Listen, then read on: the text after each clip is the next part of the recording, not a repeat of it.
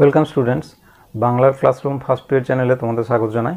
আজকে আমরা নবম শ্রেণির কলিঙ্গ দেশে ঝড় বৃষ্টি এই কবিতাটি আমরা আলোচনা করব, পাঠ করব। এই কবিতাটি আলোচনা বা পাঠ করবার আগে আমাদেরকে কিছুটা জেনে নিতে হবে কাব্যটির উৎস সম্পর্কে। কাব্যটি কোথা থেকে এসেছে এবং সেই সম্পর্কে, কবির সম্পর্কেও একটু জেনে নিতে পারলে আমাদের পাঠ্য বিষয়টি বুঝতে সুবিধা হবে। এটি মানে কলিঙ্গ দেশে ঝড় বৃষ্টি কবিতাংশটি যেখান থেকে নেওয়া হয়েছে তার মূল কাব্যগ্রন্থটার নাম হচ্ছে চণ্ডীমঙ্গল। আসলে চণ্ডীমঙ্গল হচ্ছে মঙ্গল কাব্যধারার একটি গুরুত্বপূর্ণ অধ্যায় এবং চণ্ডীমঙ্গল ধর্মমঙ্গল, মনসামঙ্গল এগুলো সবই মধ্যযুগের কাব্যধারা। মধ্যযুগের বাংলা সাহিত্য ইতিহাসে এই কাব্যধারার একটি গুরুত্ব, গুরুত্বপূর্ণ ভূমিকা রয়েছে এবং এই চণ্ডীমঙ্গল কাব্যের সম্পর্কে আরেকটু বিষয়ে জানতে গেলে আমাদেরকে বিস্তারিতভাবে এর ইতিহাসটুকুনিও জেনে নিতে হবে, ঘটনা কাহিনীটুকুনিও জানতে হবে। কোন সময়ে এই চণ্ডীমঙ্গল কাব্যের উৎপত্তি হয়েছিল এবং এর কবি কারা কারা ছিলেন? আমাদের পাঠ্যাংশের কবি সম্পর্কে বা তার আত্মপরিচয় সম্পর্কে একটু জেনে নিতে হবে। যাই হোক, এখন আমরা এই চণ্ডীমঙ্গল কাব্যের মধ্যে যে বর্ণনীয় বিষয়টা আছে বা মঙ্গল কাব্যের টোটাল ব্যাপারটাকে বলা যেতে পারে যেমন মনসমঙ্গল বা ধর্মমঙ্গল বা চণ্ডীমঙ্গল, এগুলো সবই তো মঙ্গল কাব্য ধারা মধ্যযুগের এটা একটা বিশিষ্ট অধ্যায় মানে মঙ্গল কাব্য ধারাটা এখন এই চণ্ডীমঙ্গল কাব্যধারার মধ্যে কি আছে? না, চণ্ডীমঙ্গল কাব্যধারার মধ্যে দেবী চণ্ডীর মাহাত্ম প্রচার বা পূজা প্রচারের কাহিনী লিপিবদ্ধ আছে। একেবারে সোজা বাংলা ভাষায় এইটুকুনি বললে বোঝা যাবে যে চণ্ডীমঙ্গল কাব্যে বিভিন্ন কবি বিভিন্ন চণ্ডীমঙ্গল কাব্য লিখেছেন। সেখানে কিন্তু কাহিনীটা একই একটিই কাহিনী, সেটা কি? দেবী চণ্ডীর পূজা প্রচারের কাহিনী। দেবী চণ্ডী স্বর্গে সমাজে, স্বর্গে স্থান পাচ্ছেন না, পূজা পাচ্ছেন না, তাকে মর্তলোকে পূজা আদায় করে নিয়ে মর্তবাসীর কাছ থেকে পূজা আদায় করে নিলে তবেই তার দেবলোকে ঠাঁই হবে। এই হয়েছে ব্যাপার। এখন এই জন্যে পূজা প্রচার করতে হবে এবং সেই বিষয়ে এই কাহিনীটি চলে আসছে এবং সেখান থেকে আমরা চণ্ডীমঙ্গল কাব্যের উৎপত্তি সম্পর্কে জানতে পারছি। যাই হোক, চণ্ডীমঙ্গলের এই প্রথম কবি, আদি কবি ছিলেন মানিক দত্ত।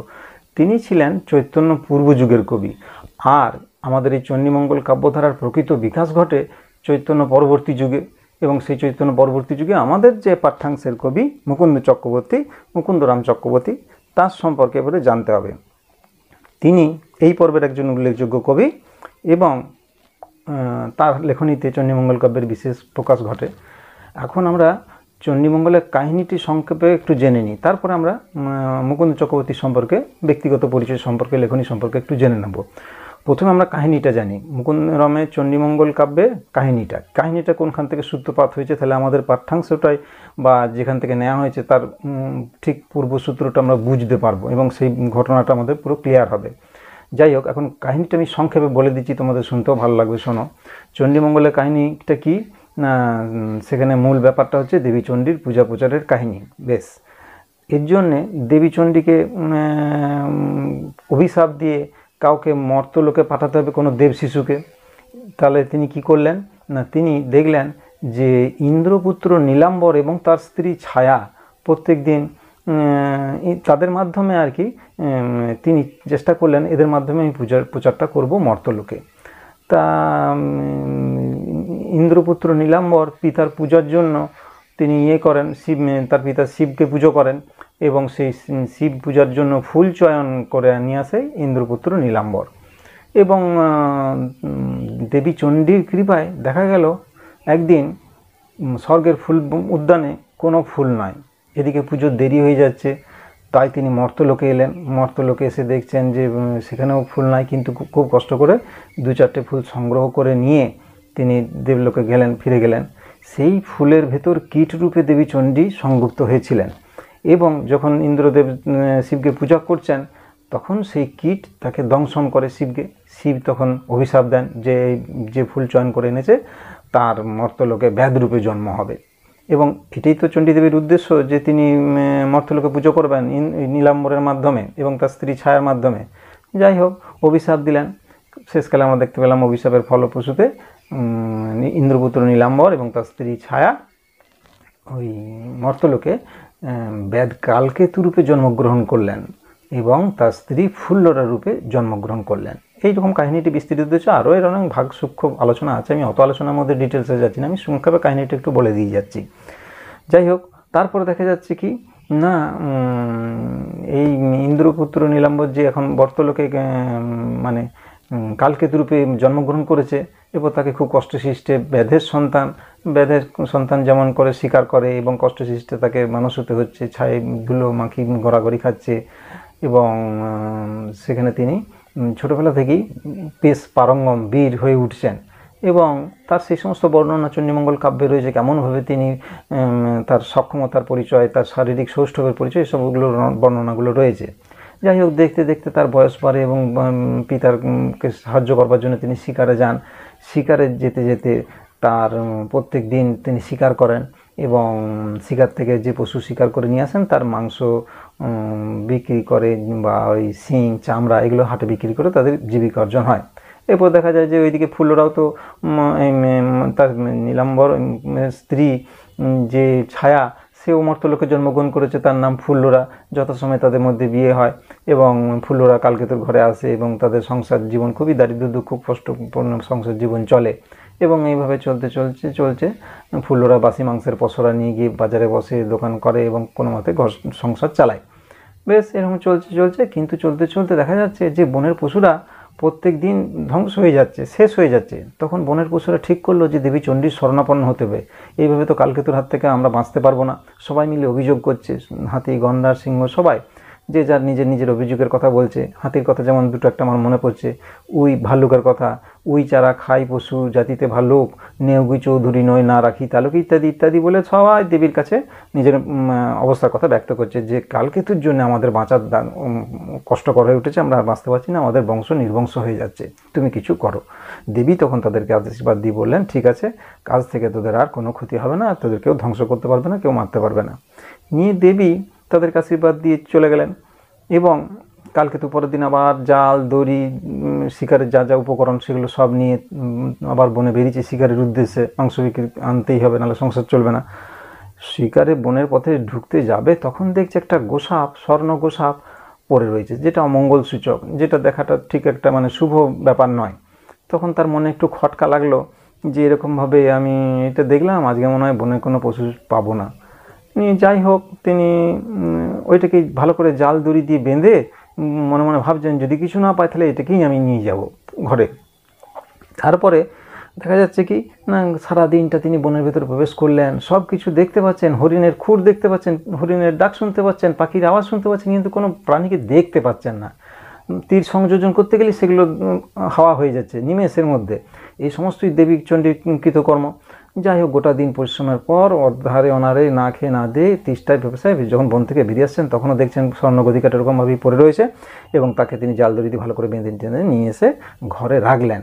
আসলে সেই স্বর্ণগদিকাটি দেবীচণ্ডীর রূপ, দেবীচণ্ডী ইচ্ছাকৃতভাবে তাকে আশীর্বাদ দেওয়ার জন্য এরকমভাবে ওই রূপ ধারণ করে পড়েছিলেন। ঘরে তখন ফুল্লরা ছিল না। ঘরেতে ওই স্বর্ণ গদি, গদিকাটাকে মানে গোসাপটাকে রেখে দিয়ে তিনি ফুল্লরাকে ডাকতে গেছেন। ফুল্লরা বাসি মাংসের পসরা নিয়ে বাজারে বিক্রি করতে গেছিল এবং ফুল্লরা পরে যখন ঘরে এলো তখন দেখছি এরকম একটি সুন্দরী যুবতী, ষোড়শী, রূপসী কন্যা রং সুন্দর স্বর্ণালঙ্কারে ভূষিত হয়ে নবসাজে, নববধূর সাজে সজ্জিত হয়ে বসে আছে, ঘর আলো করে উজ্জ্বল করে। তখন ফুল্লরা ভাবছে, আমার স্বামী কালকে তু কে কে বিয়ে করে নিয়ে এলো? এ কি সতীন করল? এখানে কি করে এলো? ফুল্লরা সঙ্গে দেবীচণ্ডীর কথোপকথন হচ্ছে। ফুল্লরা বলতে চাইছে, তুমি এখানে থাকতে পারবে না। তুমি এখানে, আমরা খুব কষ্ট সৃষ্টির মধ্যে থাকি। সংসার আমাদের কষ্ট করে চলে। নি, বারো মাসের দুঃখের কথা বর্ণনা করছেন। সেই বারো মাসের দুঃখের কথা বর্ণনাটা হচ্ছে বারো মাসা, ফুল্লরার বারো মাসা। এটাও একটা ইম্পর্টেন্ট অধ্যায়, চণ্ডীমঙ্গল কাব্যে।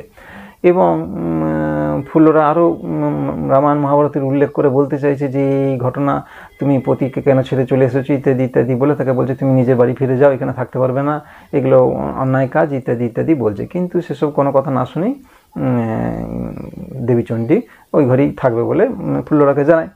ফুল্লরা তখন ডেকে মেকে কি কালকে তোকে ডেকে নিয়ে আসে বলে, তুমি কাকে ঘরে নিয়ে এসেছ? দেখবে, চলো। কালকে তো বলছে, আমি তো কাউকে ঘরে নিয়ে আমি তো গোসা বেঁধে দেখেছি। বলছে, না, তুমি নতুন করে বিয়ে করে নিয়ে এসছো, সতীন নিয়ে এসছো, আমাদের নিজেদেরই সংসার চলে না। আবার সতীন কেন জুটি জুটি ইত্যাদি করে ঝগড়া করছে, কান্নাকাটি করছে? উনি কালকে তোর হন্তদন্ত হয়ে ঘরে এসে দেখে যে এরকম ঘর আলো করে উজ্জ্বল এক ষোড়শী কন্যা বসে রয়েছে এবং মুখে স্নিগ্ধ হাসি, গায়ে স্বর্ণলঙ্কার ভরা। তখন তিনি বলছেন তুমি এখানে কি করে এলে? তুমি কে? তখন চণ্ডীদেবী বলছে, তুমি তো নিজের গুণে বেঁধে আমাকে এখানে নিয়ে এলো। গুণ কথাটার অর্থ দুটো। একটা গুণ হলো মানবিক গুণ, আর একটা হলো ওই ধনুকের ছিলার যে দড়িটা আর কি, সেইটাকে বলছে গুণ। আসলে সে তো ওই গোসাপটাকে যখন নিয়ে এসেছিল, সে সেই ধনুকের ছিলা বা দড়ি দিয়ে তো বেঁধে তাকে নিয়ে এসেছিল। চণ্ডীদেবী সেই কথাটাই বলছেন যে, তুমি তোমার গুণেই আমাকে বেঁধে নিয়ে এসেছ। আসলে দেবী চণ্ডীর উদ্দেশ্য যে, তোমার গুণে আকৃষ্ট হয়ে আমি তোমাকে আশীর্বাদ দিতে এসেছি। কিন্তু এদের এটা সে কথাটা বুঝতে পারছে না। যাই হোক কালকেতু এবং ফুলোটা দুজনেই অনেক কাকতি মিনতি করল যে তুমি এখান থেকে চলে যাও, আমাদের সংসারে দুঃখ, কষ্ট, ভরপুর এখানে তুমি থাকতে পারবে না, ইত্যাদি। কিন্তু কোনো কথাই যখন চণ্ডীদেবী শুনছে না, তখন কালকেতু তাকে হত্যা করবার জন্য তীর দিয়ে বান, তীর বাঁধতে লাগল ধনুকে। তখন দেবী চণ্ডী তাকে আদে ইয়ে দিলেন, দেখা দিলেন নিজের রূপটি এবং আরও অন্যান্য দেবী, দেবীর রূপ দেখা দিয়ে বলেন, আমি তোকে আশীর্বাদ দিতে এসেছি, তোকে আর কাল থেকে বনের পশু শিকারে যেতে হবে না। এই নিয়ে সাত ঘোড়া মোহর তোকে দান করলাম বলে তাকে জায়গাটা দেখিয়ে দিলেন। সঙ্গে সঙ্গে কালকে কালকেতুও গেল এবং মহামূল্যবান একটা অঙ্গুরি, আংটি, আংটিও তিনি দিলেন। এইগুলো বিক্রি করে বলল, তুমি গুজরাট নগর পত্তন করো এবং সেখানে তুমি রাজা হয়ে আমার পুজো কার্য সমাধা করো বলে তাকে আশীর্বাদ দিয়ে চলে গেলেন। এরপরে গুজরাট বন কেটে গুজরাট নগর স্থাপন হলো, কিন্তু নগর স্থাপন হলে কি হবে? পার্শ্ববর্তী রাজ্য কলিঙ্গ, সেখানে খুব ধুম, ধুমধাম করে মানুষজন বসতি স্থাপন করেছে, সেখানে রাজ্যপাট চলছে, সামাজিকভাবে সমস্ত কাজকর্ম হচ্ছে, কিন্তু গুজরাট নগর পত্তন হলো ঠিকই, রাজা হলেন ঠিকই, কিন্তু সেখানে কোনো মনুষ্যজন নাই, লোকালয় বলে কিছু নেই। তখন তিনি চিন্তায় পড়লেন যে তাহলে আমি যে রাজা হলাম তাহলে উম, রাজ্যপাট চালনা করবার মতন প্রজা কই? প্রজাই তো নেই। তখন তিনি দেবীচণ্ডীর স্বর্ণাপন্ন হলেন যে আমার রাজ্যে প্রজা নাই। তখন প্রজা আনয়ন করবার জন্যে দেবী চণ্ডী গঙ্গার শরণাপন্ন হলেন। গঙ্গার শরণাপন্ন হয়ে তিনি বলেন যে তুমি প্রবল বেগে ধৌত হও কলিঙ্গ রাজ্যের মধ্যে দিয়ে তাহলে সবাই গঙ্গার জলে ভাসিত হয়ে তখন প্রাণে বাঁচবার জন্য সবাই গুজরাট নগরে আসবে। কিন্তু গঙ্গা গঙ্গা তো সতীন। কে দেখছে যে আমার সতীনের কথা আমি কেন শুনব? সুতরাং গঙ্গা রাজি হলেন না। তখন দেবী অগ্নিদেবকে এবং তার অন্য দেব দেবীর কাছে গিয়ে শরণাপন্ন হলেন এবং তখন বলতে লাগলেন যে, তোমরা আমার সহযোগিতা করো, আমার এরকম বিপদ। তখন অগ্নিদেব এবং বরুণ দেবের সহযোগিতায় ওই কলিঙ্গনগরে প্রবল বর্ষণ, ঝড়, ঝঞ্ঝা, বিদ্যুৎ, এর উৎপাত শুরু হলো। নিরবধি সাত দিন ধরে এরকম অবস্থা সৃষ্টি হলো। তখন কলিঙ্গের প্রজারা প্রাণ বাঁচানোর জন্য ভয়ে ওই রাজ্য ত্যাগ করে গুজরাট নগরের কাছে এলেন। আমরা, আমাদের পাঠ্যাংশের সূচনা এই অংশটাতে আমরা পাচ্ছি যে কলিঙ্গ দেশে কীভাবে ঝড় বৃষ্টি আরম্ভ হলো এবং সেখান থেকে প্রাণ বাঁচাতে মানুষজন আমাদের এই গুজরাট নগরে এলেন, সেই অংশের বর্ণনাটা থেকে আমাদের এই পাঠ্যসূচিটা নেওয়া হয়েছিল। কীভাবে গুজরাটে যেতে বাধ্য করা হয়েছিল কলিঙ্গ প্রজাদের, সেই বর্ণনাটা এখানে একটা রয়েছে এবং সেটা আমাদের পাঠ্য। যাই হোক এর পরবর্তীকালে ভানু দত্তের কথা আছে, ভানু দত্ত বলে একটি খল চরিত্র আছে, সে কালকেতুর কাছে সে নিজেকে তার বাবার সঙ্গে খুব পরিচয় আছে বলে নিজেকে গায়ের মোড়ল করে নেয় এবং উম, মাধ্যমে দত্ত কী করে না নিজের মোড়ল সেজে কালকেতুর রাজ্যে সমস্ত প্রজাদের উপরে অত্যাচার করে উৎপীড়ন করে ট্যাক্স আদায় করে এবং এইভাবে প্রজারা যখন অতিষ্ঠ হয়ে যায় না কালকেতুর কাছে গিয়ে নালিশ করে কালকেতু বলে কালকেতুকে সবাই বলে দোকানদারেরা অভিযোগ করে যে তুমি কেমন লোককে পুষেছো এরকম করে আমাদের কাছ থেকে সমস্ত জিনিসপত্র নিয়ে নেয় আমাদেরকে পয়সা দেয় না দাম দেয় না। তখন কালকেতু বলে আমি তো কাউকে রাখিনি, ও তো নিজে নিজেই মুরলির ভার গ্রহণ করেছে। তখন তাকে রাজ্য থেকে বার করে বিতাড়িত করে দেয়। ভারতদত্ত রেগে যায় ভারতদত্তের প্রতিশোধ গ্রহণের জন্য কলিঙ্গ রাজার কাছে যায়। কলিঙ্গ রাজার কাছে গিয়ে তাকে কালকেতুর বিরুদ্ধে তা নালিশ জানায় এবং বলে যে দেবীচণ্ডীর বরে সে অনেক ঘোড়া মোহর পেয়েছে, মহামূল্যবান অঙ্গুরি আছে, ইত্যাদি ইত্যাদি, এসব করে তাকে মানে যুদ্ধে করবার জন্য উৎসাহ দেয়। ভারতদত্তের কথা শুনে কলিঙ্গ রাজা যুদ্ধ করে এবং অশেষ বিক্রমে যুদ্ধ করার পরও ভারুদত্তের প্রচেষ্টায় কালকেতু কারাগারে বন্দী হয়। কারাগারে বন্দী হওয়ার পর কালকেতু দেবী চণ্ডীর শরণাপন্ন হন। বলেন যে, তোমার পূজা প্রচারের জন্য দেখো, আজকে আমার কী অবস্থা? দেবী চণ্ডীর চৌত্রিশ অক্ষরে স্তব বর্ণনা, চৌতিসা, এটা আছে, এটাও একটা ভালো অধ্যায়, চণ্ডীমঙ্গল কাব্যে এবং দেবী তখন শরণাম দেবী তখন স্বপ্নাদেশ দিয়ে কলিঙ্গ রাজাকে বলে, তুই কাকে ধরে রেখেছিস? ও আমার বরপুত্র, ওর মাধ্যমে পূজা প্রচারের কার্য সমাধ হচ্ছে, এক্ষুনি ওকে মুক্তি দিয়ে দে। দেবী চণ্ডীর স্বপ্নাদেশ পেয়ে কলিঙ্গ রাজ্যের রাজা তাকে মুহূর্তের মধ্যে তাকে কারাগার থেকে মুক্তি দেন এবং তার সমস্ত সম্পত্তি, যা সমস্ত নেওয়া হয়েছিল যুদ্ধক্ষেত্রে, সমস্ত কিছু তাকে ফিরিয়ে দেন এবং দেবীচণ্ডীর পুজো তিনিও করতে থাকেন। যাই হোক, পরবর্তীকালে ভারতত্ব ভুল বুঝতে পেরে আবার কালকেতুর কাছে আসে। এবার আর কালকেতু ভুল করে না। তার মাথার চুল কেটে মুখে কালি কালি চুন মাখিয়ে তাকে রাজ্য থেকে বিতাড়িত করে দেয়। এইভাবে কাহিনীটা শেষ হচ্ছে এবং পূজা প্রচারের কার্য সমাধা করার পর কালকেতু ফুলরা নিজে আবার স্বর্গধামে ফিরে আসে। এইটুকুনি গেল কাহিনীটা। কাহিনীটা মোটামুটি জানা থাকলে বুঝতে পারা গেল যে আমাদের এই পাঠ্যাংশের সূচনাটা কোথা থেকে হয়েছে সূত্রপাতটা কোনখান থেকে হয়েছে। এইটুকুনি বোঝা গেল। আচ্ছা আর একটা ব্যাপার আমি বল- দিই, এই যে চণ্ডীমঙ্গল কাব্যের কাহিনীটা, এর মধ্যে দুটো কাহিনী রয়েছে। একটা হচ্ছে আখেটিক খণ্ড আর একটা হচ্ছে বণিক খণ্ড। আমাদের এই কাহিনী, কালকেতু ফুল্লরা কাহিনীটা আখেটিক খণ্ডের কাহিনীর অন্তর্গত। বণিক খণ্ডের ধনপতি ইয়ে কথা আছে, সেখানে উচ্চবিত্ত সমাজের পূজা প্রচারের কাহিনীটা বর্ণনা আছে, বণিক সমাজের কাহিনী। আর এটা তো নিম্ন সমাজের ব্যাদ সমাজের পূজা প্রচারের কাহিনী ওই জন্য এটা আখেটিক খণ্ডের অন্তর্গত আমাদের এই কাহিনীটা আমরা জানলাম বা পড়লাম বা এই অংশটা আমাদের মানে চণ্ডীমঙ্গল কাব্যে দুটো যেটা কাহিনীর ভাগ, একটা আখেটিক খণ্ড আর একটা হচ্ছে বণিক খণ্ড, একটা নিম্ন শ্রেণির পূজা প্রচারের কাহিনী আর একটা উচ্চবিত্ত সমাজের পূজা প্রচারের কাহিনী, বণিক খণ্ডটা। ওটা আমাদের দরকার নেই। আমাদের আখেটিক খণ্ডের অন্তর্গত এই কাহিনীটুকুনি আমাদের জানা দরকার, তাই আমরা এটা আলোচনা করলাম। এরপরে এই কাহিনীটার মধ্যেও এবারে কিছুটা প্যাটার্ন আছে, কয়েকটা প্যাটার্ন আছে, নির্দিষ্ট প্যাটার্ন মেনে মঙ্গলকাব্যের এই কবিরা মধ্যযুগীয় কাব্যের কবিরা সব কাব্য রচনা করতেন। তো প্যাটার্নটা কি? না, কাহিনীটার মধ্যে প্রথমে ছিল বন্দনা। বন্দনা মানে সমস্ত দেবদেবীদের বন্দনা। করতে হবে, ওটা নিয়ম, করতেই হবে। গণেশ বন্দনা থেকে শুরু করে সমস্ত দেবদেবী, যত দেবদেবী আছে, সবাইকে বন্দনা করে গ্রন্থ মানে যে গ্রন্থ লিখবে, তার সূত্রপাতটা হবে বন্দনা দিয়ে। এটাকে বলা হচ্ছে বন্দনা খণ্ড। এক নম্বর। দু নম্বর হচ্ছে কবিতা নিজের আত্মপরিচয় দিচ্ছেন। কোথায় তিনি থাকেন, কোথায় তার সাত পূর্ব- পূর্বপুরুষের বাস, তার তখন সামাজিক অবস্থা কেমন, অর্থনৈতিক অবস্থা কেমন, ধর্মনৈতিক অবস্থা কেমন, কি কি সমাজে চলছে, চোর, ডাকাত, উপদ্রব, সমস্ত ঘটনা, গোটা সমাজটা উঠে এসেছে এই দুই নম্বর পর্বেতে, সেটা হচ্ছে গ্রন্থোৎপত্তির কারণ এবং আত্মপরিচয় আত্মপরিচয় মানে নিজের পরিচয়টা দিচ্ছেন। আগে এখনকার দিনের মতন আমরা যেমন কবি তা পাচ্ছি, কবিতার পরেই কবিতার লেখকের নামটা আমরা পাচ্ছি, কবির নামটাও পাচ্ছি, কিন্তু মধ্যযুগে এসব ছিল না। মধ্যযুগে কবিকে ওই ওই দুই নম্বর অংশে গ্রন্থোৎপত্তির কারণ রচনাতে বা আত্মবিবরণ অংশতে তাকে সমস্ত কথা জানিয়ে দিতে হতো। আমার এই নাম, আমার সাত পুরুষের পূর্বপুরুষের এই ভিটের বাড়ির কথা তার সমাজের কথা, সাংস্কৃতিক কথা, সমস্ত কিছু। গোটা সমাজটা উঠে এসেছে ওই দুই নম্বর কাহিনীতে। তিন নম্বর হচ্ছে নরখণ্ড। তিন নম্বর হচ্ছে দেবখণ্ড। দেবখণ্ডের বর্ণনা কি? দেবখণ্ডের বর্ণনীয় বিষয় হচ্ছে এখানে শিব এবং পার্বতীর গারস্থ জীবনের কাহিনী। শিব, পার্বতী কেমন দুঃখ দায়িত্বপূর্ণ জীবন চালাতে বাধ্য হচ্ছেন এবং তাদের সংসারের অভাব, অভিযোগ, অনটন এবং তাদের গোটা সাংসারিক জীবনের কাহিনীটা বর্ণনা রয়েছে ওই দেবখণ্ডতে। আর চতুর্থ খণ্ডটা হচ্ছে নরখণ্ড। নরখণ্ডের বিষয়বস্তু হচ্ছে এই মূল কাহিনীটা। যে কাহিনীটা আমি ব্যক্ত করলাম সেইটা হচ্ছে মূল কাহিনীটা মানে এই আকেটিক খণ্ড হলে আকেটিক খণ্ড আর বণিক খণ্ড হলে বণিক খণ্ডের কাহিনীটা এই অংশে বর্ণিত হয়েছে। মানে এই চারটে ভাগ, একটা হচ্ছে বন্দনা খণ্ড মানে প্রথম অধ্যায়টা। দ্বিতীয় পর্বটা বা দ্বিতীয় অধ্যায়টার নাম হচ্ছে গ্রন্থোৎপত্তির কারণ রচনা বা আত্মবিবরণী অংশটা। আর তিন নম্বর হচ্ছে দেবখণ্ড আর চার নম্বর হচ্ছে নরখণ্ড। এইভাবে প্যাটার্নটা ব্যক্ত এই এই প্যাটার্ন অনুসারেই সবাইকে লিখতে হতো মধ্যযুগের মঙ্গল কাব্যগুলো রচিত হতো। যাই হোক, আমরা এই ঘটনা কাহিনীটাও জানতে পারলাম, আর এটা জানতে পারলাম এরপরে আমরা চলে আসি মুকুন্দ চক্রবর্তীর লেখিক মানে কবির সম্পর্কে আমরা একটু জেনে নিই। তাহলে সুবিধা হবে কবির সম্পর্কে। কবি তো কাব্যগ্রন্থটা লিখেছেন? কবি কিন্তু কোথাও ওই কবিতার মধ্যে নিজের নামটা পুরো দেয়নি। আমরা কবিতার নামটা কি পাচ্ছি? কবি কঙ্কন মুকুন্দরাম চক্রবর্তী। কলিঙ্গ দেশে ঝড় বৃষ্টি কবিতায় নামটি রয়েছে। এখন নাম, নামকরণ প্রসঙ্গেও মধ্যযুগীয় কবিদের মধ্যে একটা মানে ইয়ে ব্যাপার রয়েছে যেটা নামকরণ নিয়ে একটা অনেকে সন্দেহ প্রকাশ করেন।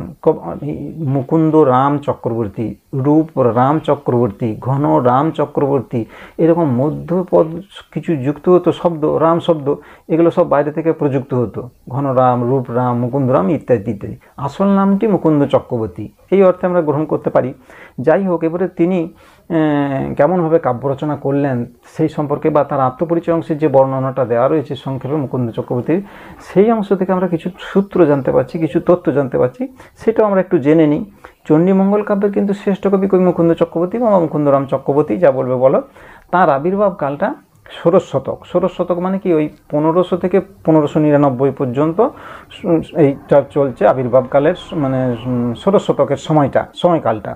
তার ক- কবিতার কাব্যে যে আত্মপরিচয় দান করেছেন, সেইখান থেকে আমরা যে তথ্যগুলো জানতে পারছি, যে তার পৈতৃক বাসভূমি ছিল বর্ধমান জেলার রায়না থানার অধীনে দামুন্না গ্রাম। তার পিতার নাম হৃদয় মিশ্র, মা দৈবকী। এবং তাদের খুব দৃষ্টি, কষ্ট করে সংসার চলতো। কবির নিজের দেওয়া তথ্য অনুসারে কবি কঙ্কন হচ্ছে তার উপাধি। আর মুকুন্দ নাম তো নামটা পেয়েছি বা মুকুন্দ শুধু নামটা পেয়েছি, নামটা মধ্যপদ হিসেবে সমস্ত কবিরাই মোটামুটি ব্যবহার করতেন। এবং চক্রবর্তী হলো বংশগত উপাধি, এইটা আর কি, বা পদবী আর কি এটা পেয়েছি। তখনকার দিনে যখন মুকুন্দ চক্রবর্তী সংসার জীবন করছেন, বাবা মার সঙ্গে থাকছেন, তখন ওই ডিহিদার মামুদ শরীফ তার অত্যাচার চরণে তুলেছিল। ফলে দিহিদার মামুদ শরীফের অত্যাচারে অতিষ্ঠ হয়ে তিনি গ্রাম ছাড়তে বাধ্য হন এবং সামন্ততান্ত্রিক সমাজ ব্যবস্থায় কীভাবে মানুষের উপর অত্যাচার নেমে এসেছিল তার ঘটনার তিনি সাক্ষী ছিলেন। এই সমস্ত ঘটনাগুলো থেকে তিনি একটা আদর্শ সমাজ ব্যবস্থা আদর্শ শাসন ব্যবস্থা আদর্শ রাজ্য বা নগর পত্তনের কল্পনা তার মাথায় ছিল। সেই পরিকল্পনাটা আমরা গুজরাট নগর পত্তনের মাধ্যমে দেখতে পাই। তার মনের মধ্যে যে এই ভাবনাটা ছিল, তিনি তো নিজে এই অত্যাচারে শরিক হয়েছিলেন, যার ফলে তাকে নিজের পূর্বপুরুষের, পিতৃপুরুষের ভিটেভূমি ত্যাগ করে দিয়ে বাড়ি ছেড়ে দিতে চলে যেতে হয় এবং সপরিবারে তিনি দামুন্না গ্রাম ছেড়ে মেদিনীপুর জেলার আরারা গ্রামে ব্রাহ্মণ জমিদার বাঁকুড়া রায়ের আশ্রয় গ্রহণ করেন এবং বাঁকুড়া রায়ের আশ্রয় গ্রহণ করে তিনি সেখানে তার পুত্র, বাঁকুড়া রায়ের পুত্র রঘুনাথ রায়ের গৃহশিক্ষক রূপে নিজেকে নিযুক্ত করেন এবং গৃহশিক্ষক নিযুক্ত হওয়ার পর রঘুনাথ রায় যখন বড় হন, রাজা, রাজ- রাজা নিযুক্ত হন পিতার অবর্তমানে, তখন তার অনুরোধে তিনি এই চণ্ডীমঙ্গল কাব্যটি লেখেন এবং সেই গ্রন্থটির নাম হয় অভয়া মঙ্গল। এরকম এরকমভাবে আমরা ঘটনার কাহিনীটা মোটামুটি জানতে পারি। যাই হোক মোটামুটি আমরা ধরে নিতে পারি যে আনুমানিক ষোড়শ শতাব্দীর শেষ ভাগে তিনি মানসিংহ যখন ওই বাংলার সুবেদার হন, তখন তিনি এই কাব্য রচনাটা করেছিলেন। তার কাব্যকে অনেকে অভয় মঙ্গল বলেন চণ্ডীমঙ্গল বলেন, অম্বিকা মঙ্গল বলেন প্রভৃতি নামে অভিহিত করেন। এই গেল মোটামুটি কাহিনীটা। এবং তার এই কাহিনীর মধ্যে দিয়ে যে তার যে ব্যক্তিগত অভিজ্ঞতাটা হয়েছিল সেইটা সেই সামন্ততান্ত্রিক অত্যাচারে পর্যবসিত সমাজ ব্যবস্থা কীভাবে একটা আদর্শ নগরপত্তন সম্ভব এই ভাবনাটা তার মাথায় ছিল। সেই দুর্দশাটা তিনি লক্ষ্য করেছিলেন কৃষকের দুর্দশা, প্রজার দুর্দশা, সেই দুর্দশার কথাটা তিনি প্রত্যক্ষ করেছিলেন। এই জন্য একটা আদর্শ সমাজ ব্যবস্থা পত্তন তার মাথায় বা কল্পনাতে এসেছিল। রাজনৈতিক বিপর্যয়ের শিকার হয়েছিলেন বলেই তার মধ্যে আদর্শ সমাজের কথাটা, ভাবনাটাই ছিল এবং সেইটা তিনি তার কাব্য রচনাকালে সেটাকে প্রকাশ করেছেন এবং গুজরাট নগর পত্তন করবার কথা বলেছেন। যাই হোক, এইটা আমরা মোটামুটি জানতে পারলাম কাহিনীর পূর্বসূত্ররা এর পরের দিনে আমরা আবার আলোচনা করব কাহিনীটা, আমরা কবিতাটা আলোচনা করে দেখব কতটা কীরকমভাবে আমরা কাহিনীটা এগোচ্ছে। আজ তাহলে এইটুকুনি থাক। তোমরা অবশ্যই কবিতাটা ভালো করে পড়বে কবিতাটা একটু মধ্যযুগী কবিতা তো শব্দবন্ধগুলো একটু উম, অসুবিধার সৃষ্টি হতে পারে কিন্তু কোনো অসুবিধা হবে না। ধীরে সুস্থে আমি পড়িয়ে দেবো এবং তোমরা ভালো করে বই দেখে দেখে কয়েকবার কত পড়বে তাহলে যে কোনো প্রশ্নের উত্তর লিখতে কোনো অসুবিধা হবে না। আমার সঙ্গে থাকবে তোমরা চ্যানেলটিকে সাবস্ক্রাইব করবে এবং বন্ধুদের সাথে শেয়ার করবে। ব্যাস এইটুকুনি কয়েকটা কথা বলার তাহলে পরের দিন আবার দেখা হবে। থাক আজ আজ আজকে পর্যন্তই।